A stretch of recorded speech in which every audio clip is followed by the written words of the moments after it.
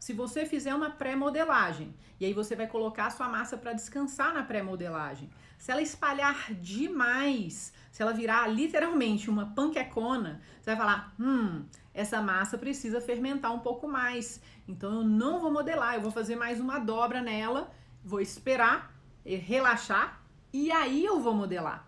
Então a pré-modelagem é legal demais por causa disso, porque você pode também testar a sua massa. Você pré-modela e deixa ela ali descansando na bancada. Esse descanso é muito importante, porque o glúten tem que relaxar e você nesse meio tempo, que demora aí de 15 minutos a 30 minutos, dependendo da sua fermentação, dependendo da receita, dependendo de como a massa está, né? Vai demorar de 15 a 30 minutos e você vai perceber, a massa virou um panquecão? Hum, então eu faria mais uma dobra antes de modelar. A massa nem se mexeu? Talvez você nem precise modelar